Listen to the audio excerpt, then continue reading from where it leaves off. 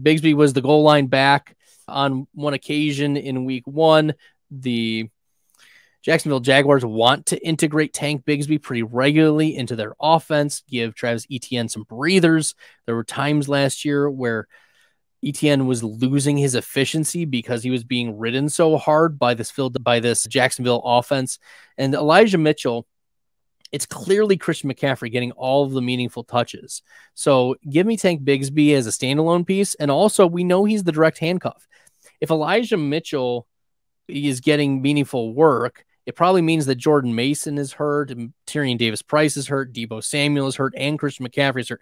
There's just so many other players that could be siphoning off meaningful touches away from Elijah Mitchell. Tank Bigsby is the clear handcuff. That's who I'd prefer.